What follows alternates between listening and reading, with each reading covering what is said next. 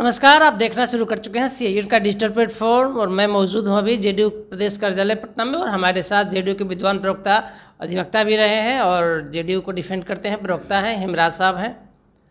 आज हम इनसे समझने का प्रयास करेंगे कि बीएड के जो अभ्यर्थी हैं बीपीएससी की परीक्षा दे चुके हैं और बिहार सरकार ने इनिशिएट लेते हुए सुप्रीम कोर्ट में एसएलपी दायर किया। जजों का जो रुख था वह सरकार के पक्ष में नहीं होने के कारण एसएलपी को वापस कर लिया गया। तो आखिर जो बीएड के अभ्यर्थी हैं अगर वो पास कर जाते हैं तो सरकार की क्या नीति है? कुछ जानकारी रखते हैं आप, सर?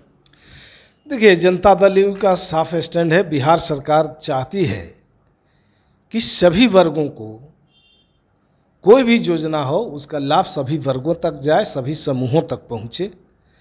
और बिहार में जो बहालियों का तांता लगा हुआ है, सरकार चाहती है कि बिहार में ज़्यादा से ज़्यादा लोगों को नौकरियाँ मिले, रोज़गार मिले। ताकि बिहार आत्मनिर्भर हो सके। और बिहार सरकार ने तो वादा किया दस लाख दस लाख की सीमा भी पार करेंगे हम लोग समय सीमा के बाद।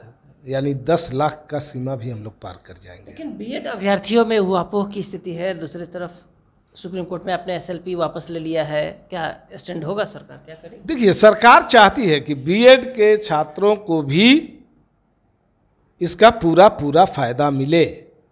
कोई वंचित ना रहे। सरकार की ये मंशा है। चूँकि जो काम कर रही है सरकार जो बहाली हो रही है राज्य में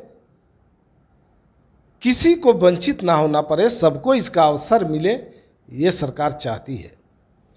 तो आखिर जब आप एसएलपी वापस ले लिए हैं तो अब रिज़ल्ट डीएलएड अभ्यर्थियों की जारी करेंगे ना? उनकी भी संख्या तो साढ़े तीन लाख से ज़्यादा है। फिर सरकार इस पर सोचे कि क्या करना है आगे कैसे इनको लाभ मिलेगा। बीएड अभ्यर्थियों के लिए भी कोई कार्य योजना नीतीश कुमार बिहार के हित में सोचते हैं? लगातार आपके सर्वे सर्वा है, पार्टी के क्या कुछ ऊपर में चर्चा चल रही है? निश्चित रूप से। मैं तो कह रहा हूँ कि सभी वर्गों के लिए, सभी समूहों के लिए और सभी कैटेगरी के लोगों के लिए सरकार कृत संकल्पित है उसके उत्थान के लिए, उसकी तरक्की के लिए, उसकी हिस्सेदारी के लिए।